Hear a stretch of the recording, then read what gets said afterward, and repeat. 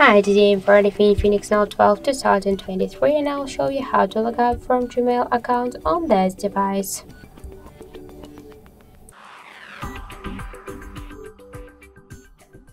So first let's launch the Gmail application, then tap on the right upper corner and just to log out from Gmail account in Gmail application we should first log out from Google account on our device.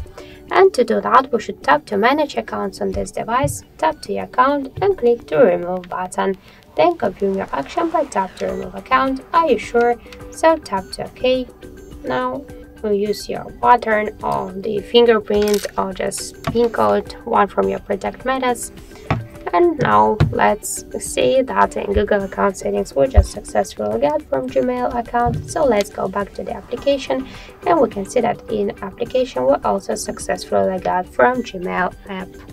So that's it. Thank you for watching and if you find this video helpful, don't forget to leave a like, comment and to subscribe our channel.